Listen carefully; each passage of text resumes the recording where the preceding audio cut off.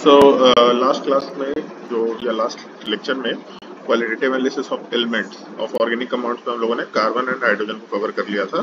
जिसका copper oxide के साथ रिएक्शन करा के प्रोडक्ट जो बनता था उसका हम लोग फर्दर कुछ कुछ एनालिसिस करते थे। कैल्शियम हाइड्रोक्साइड के साथ रिएक्शन करा के या फिर सपोजिटली uh, हम लोग कॉपर सल्फेट के साथ रिएक्शन करा रहे थे। सो so, उसी सीक्वेंस में सेकेंड पार्ट जो हम लोग लजाइन टेस्ट भी बोल सकते हैं लसाइन टेस्ट या फिर इसी चीज़ को हम लोग सोडियम फ्यूजन टेस्ट भी बोलते हैं।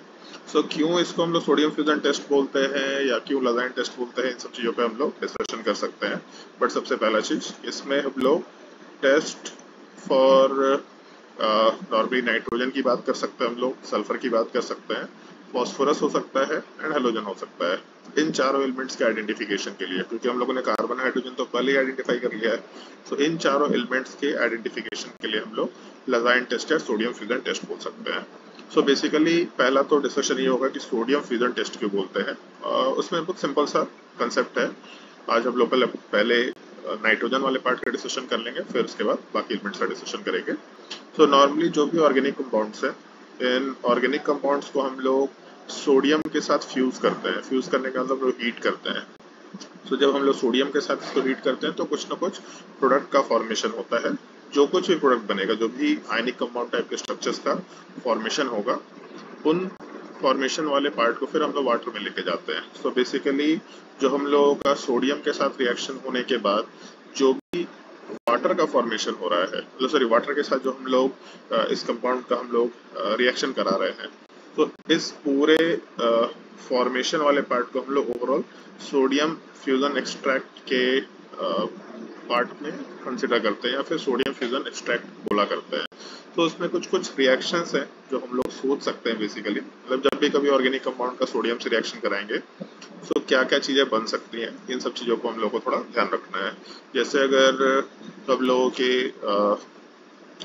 मान लो कार्बन प्लस नाइट्रोजन की बात करते हैं तो कार्बन प्लस नाइट्रोजन अगर इसका रिएक्शन हम लोग सोडियम के साथ कराए तो हम लोगों को एन का फॉर्मेशन मिल जाता है। अब sodium cyanide basically C N minus का फॉर्मेशन हो जाता है।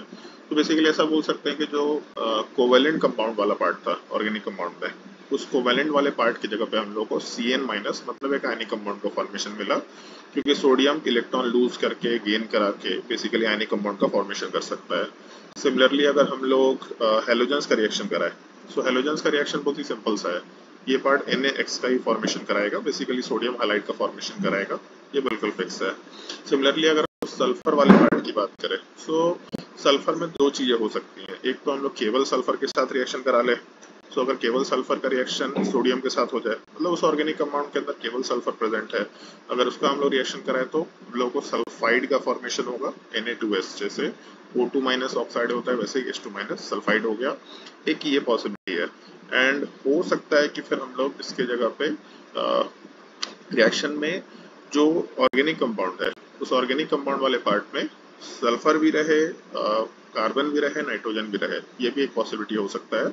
इसको थोड़ा ध्यान रखना चाहिए। सो बेसिकली हम लोग ऐसा बोल सकते हैं कि सोडियम तो यूज़ कर ही रहे हैं बट इसके साथ केवल सल्फ़र ना यूज़ करके हम लोग carbon plus nitrogen plus sulphur तीनों यूज़ कर रहे हैं। सो so इस केस में Na के साथ साथ पहले तो ऊपर केवल सल्फाइड बनता था, अभी हम लोगों का